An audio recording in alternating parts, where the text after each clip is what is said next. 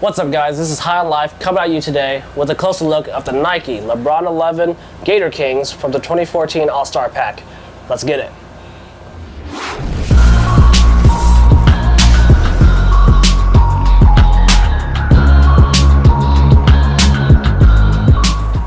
These are LeBron 11s released on February 14th, 2014 for $219.99, but I missed out on this release and wasn't able to pick it up until Finish Line restocked on July 31st, 2014. Official colorway for the shoe is Cashmere, Green Glow, and Purple Dynasty. The box that the LeBrons comes in puts emphasis on New Orleans, which happens to be the location of the 2014 All-Star Game. The box art represents New Orleans and the different player signature shoes which makes up the All-Star pack. Each shoe in the All-Star pack also comes with a tarot card, which coincides with the player and the theme of the pack. The Gator King colorway has the traditional LeBron 11 design. It's made up of green glow hyperposite, which glows in the dark to reveal the All-Star pack's mosaic pattern. Purple Dynasty Hyperfuse, mesh and flywire is accented with Purple Dynasty and a green glow Nike swoosh which glows in the dark. The Hyperfuse has an iridescent effect which uses what Nike calls chroma. This means that the material reflects different colors depending on what angles they are seen from. This particular colorway pays tribute to the alligators of New Orleans, which symbolizes power and protection. This shoe comes with two sets of circular laces. The first pair that comes pre-laced on the shoe is a combination of Green Glow, Purple Dynasty, and 3M. It's held together by a Green Glow line head, which also glows in the dark. The second pair uses a combination of purple and metallic silver. The tongue is printed with a Green Glow and Purple Dynasty pattern, which resembles the scales of an alligator. The tongue also has a green glow and purple Dynasty LeBron 11 logo. The LJ logo is set in green glow, which glows in the dark, and a gold crown. The inner lining of the Gator King 11s utilizes the 2014 All-Star pattern, much like that seen on the box. The Lunarlon midsole comes with full-length zoom and has a Nola Gumbo patch stitched onto it. The outsole has a traditional LeBron 11 honeycomb traction pattern and uses a mixture of both green glow and purple dynasty to give a marbled effect. The LeBron 11 plate also uses these colors to give a scaled effect to resemble the alligator theme and has a LeBron signature in green glow located in the middle.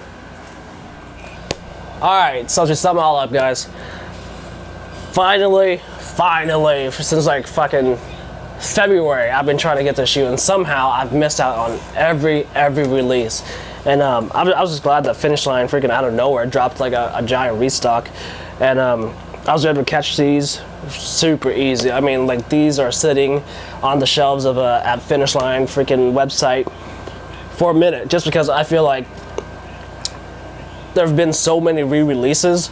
Um, who wanted them pretty much got a chance to get them, and now they're just sitting just because nobody else wants them. And resell for them, I mean, like they flooded the market with these. Well, by now.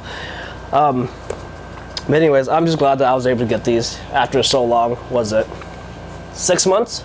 So it was about time. And quality, as far as I'm seeing on this particular pair, I'm just happy that finally, on a shoe that I've been wanting for so long, that uh, I got a pretty much a perfect pair. Like no, no defects from anything that I can see. Um,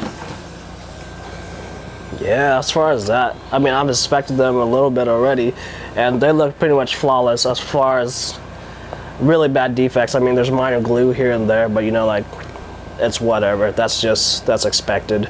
Um, this shoe looks amazing. When I first saw pictures of the, of the All-Star pack, I, I knew that I was going to get the Kobe 9, and I did. Um, that was number one priority. That's what I set out to get, and I got it. Um, the KDs, I hated the KDs, and I still hate the KDs. I think they, they're like the ugliest out of that pack for sure.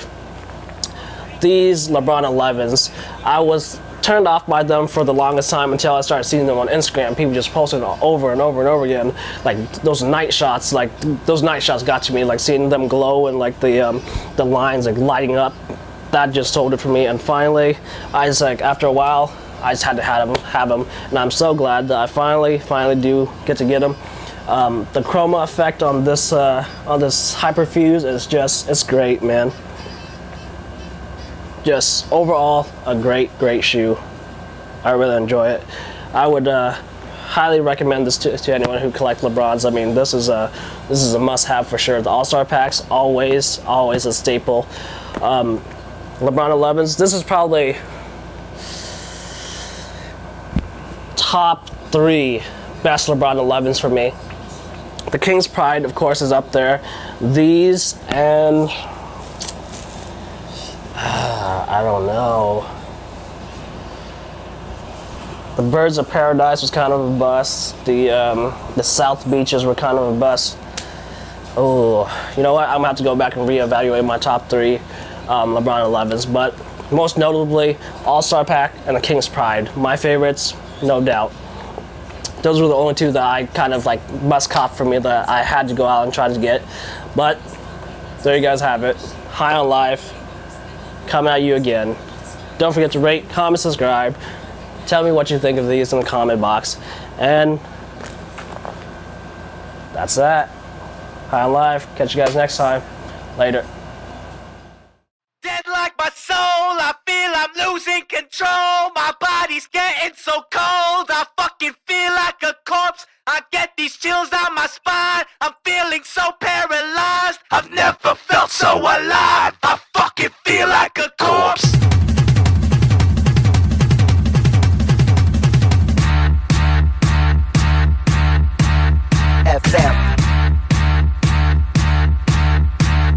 FM. FM. F F FM. Shot to the head like an execution. Mixed drinks like base to solution. Lifeless is a dirty whore, but this ain't prostitution. Uh, new party rock shit, you can't stop shit. Penny on the rocks in a mosh pit. Everybody heavy on the vodka, hanging like beef in a meat locker. Looking like a zombie in a graveyard. Mad dog and way hard, cause LA hard. Let the bass hit like